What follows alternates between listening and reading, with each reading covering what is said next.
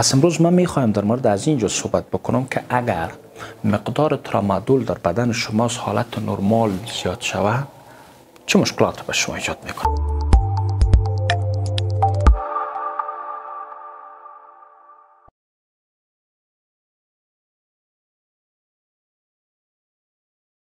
با ادامه سگمنت های قبلی خود در مورد ترامادول اینجا من می‌خوایم در مورد از که آیا اگر ترامادول پیش شما overdosage شوه یا اووردوز شوه آیا کشنده است؟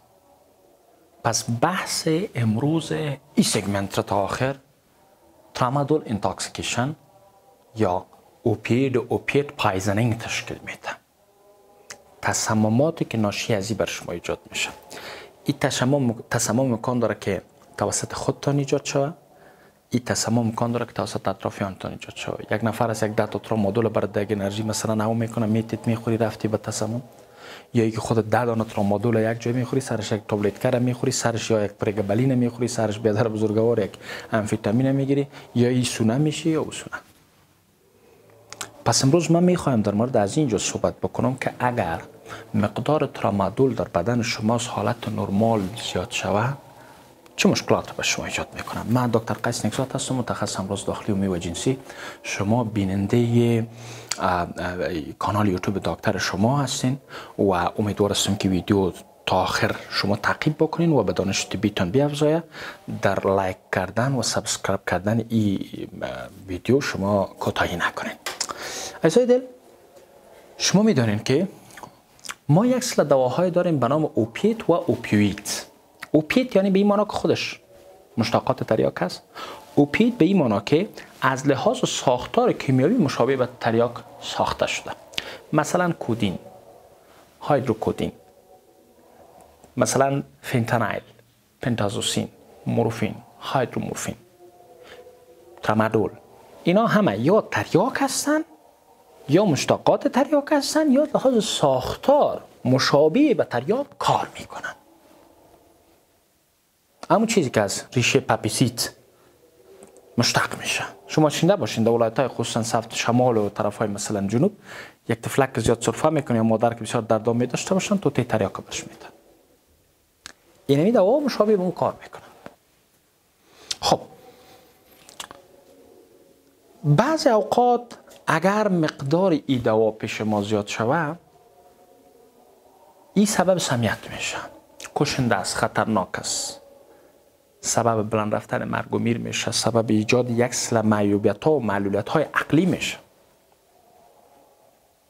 intoxication یا سمیت چرا ایجاد میشه؟ شما می‌فهمین که تمام انواع دواهای اوپیت و اوپییتس که اینا سرکوب کننده سیستم اعصاب مرکزی هست. پس وقتی که پیش شما اووردوزاژ ای دوا ایجاد شد تمام مراکزی که در سیستم اعصاب مرکزی شما مرکز دلبدی است مرکز استفراغ است مرکز تنفس است مرکز تشنگی هست مرکز تفکر هست مرکز تحلیل و تجزیه است اینا همش چی میشه؟ سرکوب میشه خاموش میشه. در پلیازو این دوا سمپاتیک سیستم اوتفلو را کم می‌سازه یعنی در بدن شما سیستم سمپاتیک را سمیت از سرکوب می‌کنه.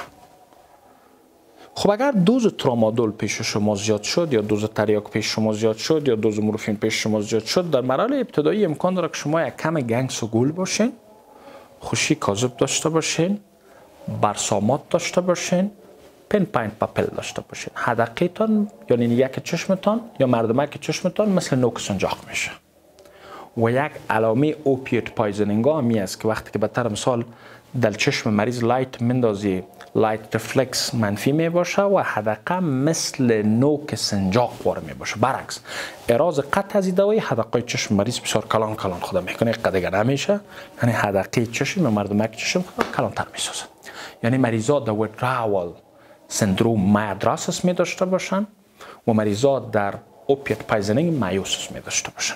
خب دوستای من در مراحل پیشرفته چون این دوا سرکوب کننده سیستم اعصاب مرکزی هست مریض تنفس سطحی و تعداد تنفسش کم است ضربان قلب سقوط می‌کنه فشار پایان میه نبض کم میشه interval PR د ECG خود طویل می سازه مریض امکان داره بر های torsades de pointes بره مریض جلد سرد می داشته باشه عرق می داشته باشه تکان می خوره اگر کمک پیشرفته تر شد فرد میره به کوما.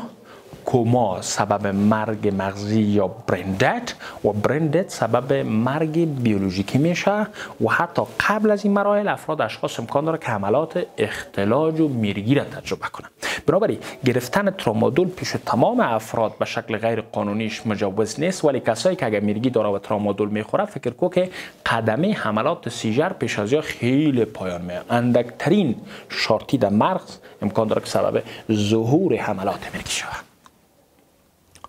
خب این مریضا باید بستر شوند.